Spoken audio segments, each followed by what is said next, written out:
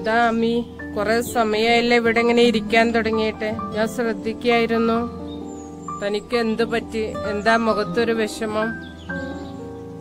ടീച്ചറെ അത് പിന്നെ എന്റെ വീട്ടിലെ എന്റെ പാരന്റ്സിന്റെ കല്യാണം ആലോചിക്കുക. എന്ത് ചെയ്യണമെന്ന് പോലും എനിക്കറിയില്ല. എടോ കല്യാണം നിശ്ചയിക്കാനോ?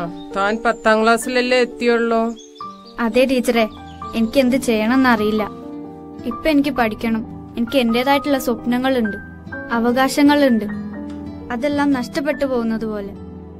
കല്യാണപ്രായമാകുമ്പോ മാരേജിനെ കുറിച്ച് ചിന്തിച്ചാ പോരെ? സത്യം ടീച്ചറെ ഞാൻ വല്ലാത്തൊരു മാനസികാവസ്ഥയിലാണ്. ടീച്ചർക്ക് എന്നെ ഒന്ന് സഹായിച്ചൂടെ? എന്റെ പാരന്റ്സിനോടൊന്ന് പറഞ്ഞൂടെ?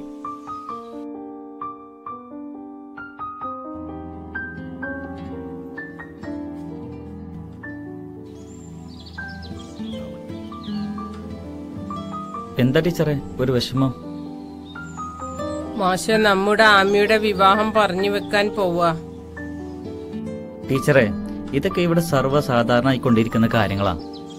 ഇത് ആമിയുടെ മാത്രം പ്രശ്നമല്ല ഒരുപാട് കുട്ടികളുടെ പ്രശ്നങ്ങളാ.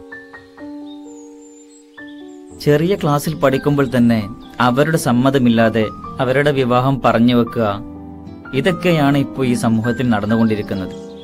ആമി താൻ വിഷമിക്കാതിരിക്കടോ. നമുക്ക് എന്തെങ്കിലും ഒരു പരിഹാരം ഉണ്ടാക്കാം. നമുക്ക് തന്റെ ഫാദറിനോടൊന്ന് സംസാരിച്ചു നോക്കാം. ഓക്കെ നമുക്കൊന്ന് സംസാരിച്ചു നോക്കാം. നീ നിന്റെ ഫാദറിന്റെ നമ്പറും തന്നെ.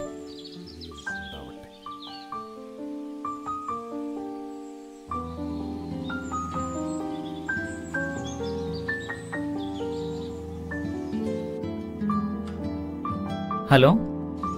ഇത് ഹാമിയുടെ ഉപ്പയല്ലേ? ഞാൻ ആമിയുടെ സ്കൂളിലെ അധ്യാപകനാണ്. ആമി ഇന്ന് എന്തോ ഒരു വലിയ വിഷമത്തിലാണല്ലോ. ആ അതിനെക്കുറിച്ച് സംസാരിക്കാൻ വേണ്ടിയിട്ടാണ് ഞാൻ വിളിച്ചത്.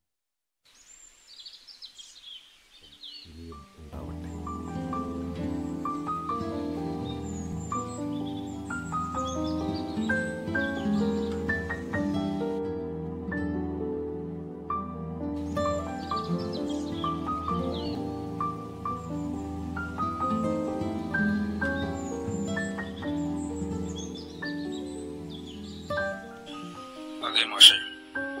മാഷെ പറഞ്ഞതാണ് അതിന്റെ ശരി. അവർ പഠിക്കട്ടെ. അവർ പഠിക്കുന്ന പ്രായല്ലേ പഠിക്കട്ടെ. അതാണ് അതിന്റെ ശരി. അതെ അതെ. അതെ അതെ അതെ. അതാണ് അതാണ് അതിന്റെ ശരി.